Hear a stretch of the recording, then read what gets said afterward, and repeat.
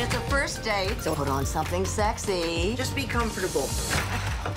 That's too comfortable. I think what's wonderful about this movie is kind of celebrating women at every age. Well, we're celebrating old women.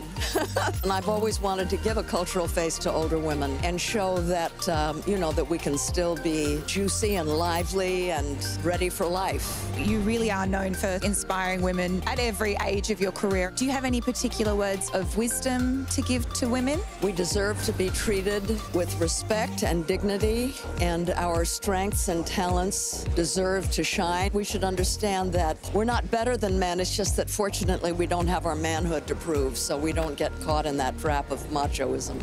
May a gentleman buy you a cup of coffee? Well, a gentleman certainly may. Do you know of one? It's such a powerhouse of incredible women. Bringing you all together is quite exceptional. We had a great time. We didn't know each other very well before. We all got along very well, and we've remained friends. Are you guys still catching up now? I've spent the weekend with Mary Steenburgen and her husband Ted Danson. They have a really nice house in the country, and they're just magical people. And I've known Candy. I think I, I met her first when she was 17 years old, and my boyfriend wanted me to meet her to see how beautiful she was. Thank you very much.